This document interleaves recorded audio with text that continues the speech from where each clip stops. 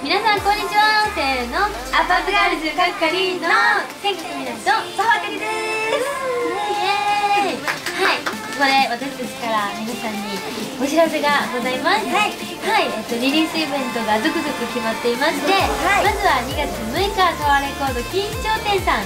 そして2月13日は奈良ポート立川立ち見。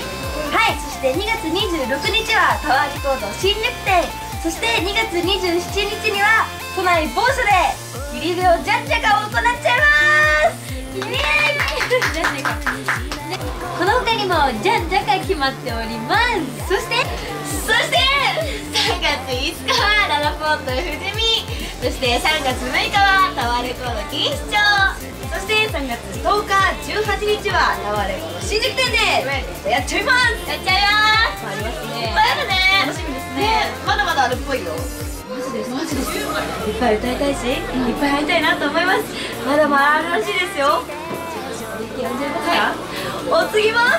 はい、えー、そしてそして最後私たちからお知らせしますのは、えー、3月19日モザイクモール紅白そして3月25日タワーレコード新宿店。そして4月2日イオンモールつくばです、シングル3日前ですね発売ねじゃあもう。今ねじゃんじゃかじゃんじゃかお知らせしちゃいましたが、はいね、多分ね覚えられないと思うので詳しくはアップガのホームページなどチェックしていただきたいですし、このね詰まった中でもまたリリーベなんかもまたじゃんじゃか入ってきますのでそうすね。